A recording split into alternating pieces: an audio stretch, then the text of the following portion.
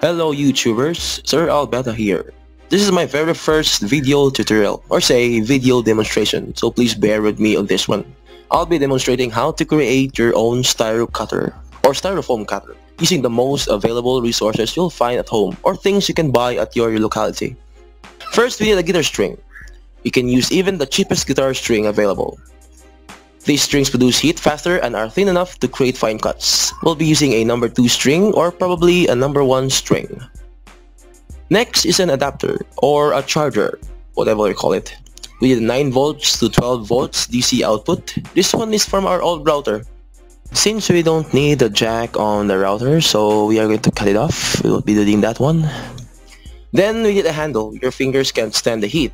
So I have here a small steel cutter handle the cutter got rusty and it's supposed to be thrown away, but hey, recycling. Then we need hooks or screws where we can tie the ends of our string and the power supply and screw it into the handle like this and then the other one should be here, string will be there and so on. And of course, tools like pliers, you know, handy, handy pliers. Also an electrical tape, black would be the most appropriate. So that's it, basically that's it our materials, so let's start. Using the pliers, cut the guitar string to an appropriate length and tie it onto the hooks. Screw the hooks onto the ends of your handle. Then we are going to tie the ends of the adapter wires. There are two wires, one on this hook and the other one goes to this one hook. So the adapter wires are tied into the hooks, one wire end on one hook respectively. Don't worry where the positive or the negative sides of the wires go, right? As long as they are on both ends. And then tape the wires in place using the electrical tapes that we have. So it will not look messy. So, that's it. Let's give it a try. Now let's give our styro cutter a shot. Let's plug in the adapter to our power outlet. And hold it properly.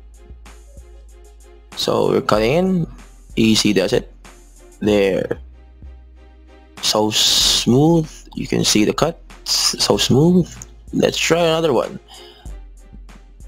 Right here and cut. Going back. There. Smooth cut. Let's try a longer one. Okay you can see it's smoking. It's really hot. So be careful. There we go now you can see how fast it cuts. And trying here. There we go. Another one. Uh, no. Second thought no. So that's it. Thank you for watching. We have our styro cutter